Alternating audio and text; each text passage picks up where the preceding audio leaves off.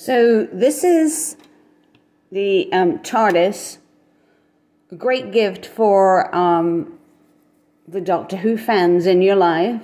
But what makes this really unique is the fact that it is a puzzle. It can be undone and you can stash things inside of it. So let me just show you how this works.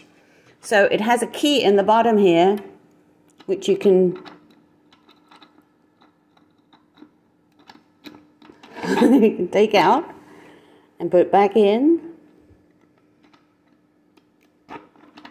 Once it's in there, we start spinning it until we get it to a certain place where we can twist or tumble um, the mechanism inside of it, and there you go.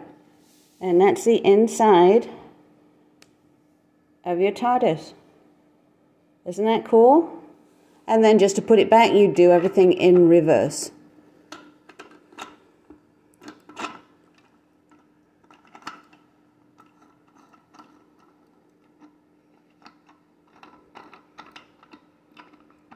And there you go. And there's your TARDIS. Isn't that cool? Thank you for following me.